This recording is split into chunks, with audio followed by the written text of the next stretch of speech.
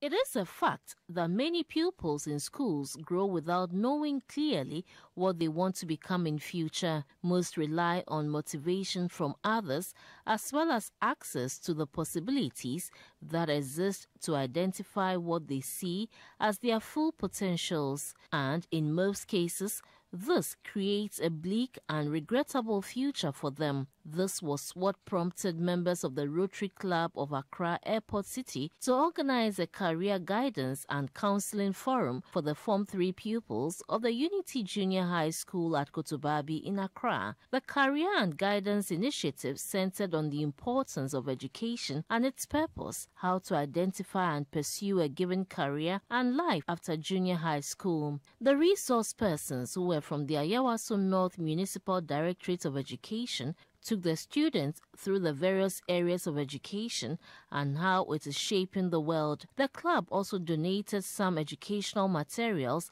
as they prepare for the BEC exams and COVID 19 protective gear to the pupils. The president of the Rotary Club Accra Airport City, Mrs. Bertha Gatti, stressed the need to periodically organize such fora to align the career of pupils with their potentials.